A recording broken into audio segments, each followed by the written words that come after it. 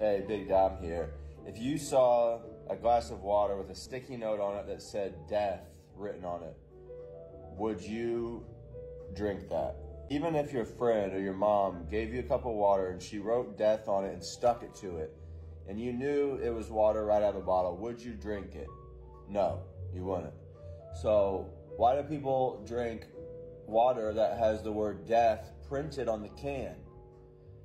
Liquid death is demonic, cursed water of the lowest possible vibration, and this can be proved through vibrational analysis and freezing and examining the water under a microscope, and one will find that the molecular structure has been turned into a scary looking structure versus water that's blessed and has positivity reinforced into it, which has a crystalline snowflake like sacred geometry like structure.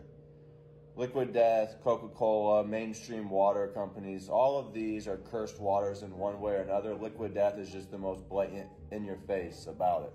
Stay away from this junk. Everything we put out is not only is it not cursed and infused with darkness, it's actually blessed and infused with positivity. It's going to make your life better. And that's just how it is. You put good in, you get good out. You put junk in, you get junk.